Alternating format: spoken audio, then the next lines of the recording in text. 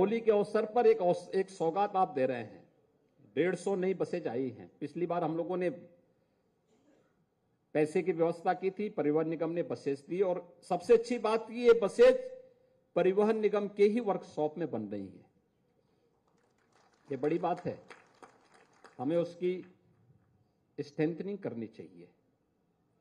पुरानी जो बसेज हो चुकी हैं, दस साल पुरानी बसेज अगर हैं, उनको स्क्रैप के की तरफ़ ले जाकर के फिर से नई बसेज को खरीदने के लिए। हम लोगों ने इस बार तो बजट में एक हज़ार नई बसेज खरीदने के लिए 400 करोड़ रुपए दिए हैं परिवहन निगम को। और पहली बार इतना पैसा अलग से मिल रहा। कुंभ को छोड़ करके इतना पैसा पहली बार हम लोग दिए हैं और 100 करोड़ रुपए दिए हैं जो आपके बस अड्डे हैं।